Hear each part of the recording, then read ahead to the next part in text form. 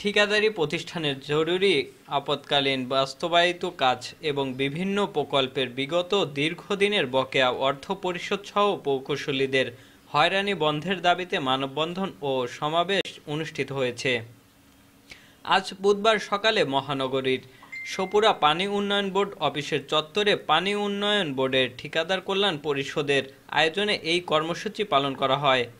মানববন্ধনে বীর মুক্তিযোদ্ধা বজলুর রহমানের সভাপতিত্বে প্রধান বক্তা হিসেবে বক্তব্য রাখেন পানি উন্নয়ন বোর্ডের ঠিকাদার কল্যাণ পরিষদের উপদেষ্টা তপন কুমার সেন।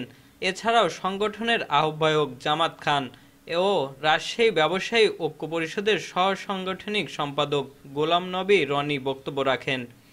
মানববন্ধনে বক্তাগুন বলেন, রাজশাহী বিভাগের আট জেলার প্রকল্প ও আপৎকালীন কাজ মিলিয়ে প্রায় অর্ধশত ঠিকাদারের সাতশো পঞ্চাশ কোটি টাকা পাওনা রয়েছে পানি উন্নয়ন বোর্ডের কাছে। আর গচ্ছিত সব টাকা ও ঋণ নিয়ে কাজ শেষ করার কারণে এখন ঠিকাদারদের হাতে কোনো টাকা নেই। তারা মানবেতর জীবনযাপন করছেন। মানববন্ধন শেষে তারা পানি উন্নয়ন বোর্ডের রাজশাহী জোনের প্রধান প্রকৌশলী জহুরুল ইসলাম ও রাজশাহী পৌর বিভাগের নির্বাহী প্রকৌশলী আরিফুল রহমান অঙ্কুরের কাছে টাকা পরিশোধের দাবির একটি স্মারকলিপি প্রদান করেন। আমরা কখনো কখনো কোনোভাবে কারও ক্ষতি করি না। এই কথা পরিষ্কার। এ কথা পরিষ্কার। আর আমাদের চোখের পানি পড়ে যে ভাইগুলি আর একটা গ্রুপের রাজনীতি হয়ে এই পানি উন্নয়ন কাজ করে, তারা বাড়িতে থাকতে পারে তাদের বাচ্চার দুধ কিনা পয়সা থাকে না। তাদের মা বাবার ওষুধ কিনা পয়সা থাকে না। এই কথা বলতে আসলে আমার সংশ্লিষ্ট কর্তৃপক্ষ তারা অসন্তুষ্ট হতে পারে আমাদের কোনো যায় আসে না গণতন্ত্রের রাষ্ট্র আমার এই কথা বলার অধিকার আছে কেন নাই কেন আমরা বলব না আমাদের পাওনা টাকা চাইতে আসার আমাদের অপরাধ।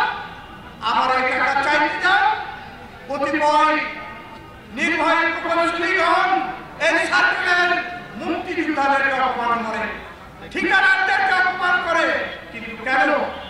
কেন তা হবে? তার পছন্দের মানুষকে সে আপন করে নিতে চায়।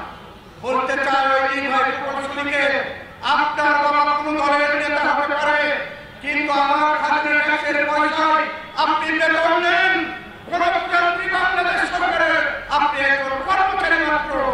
আপনি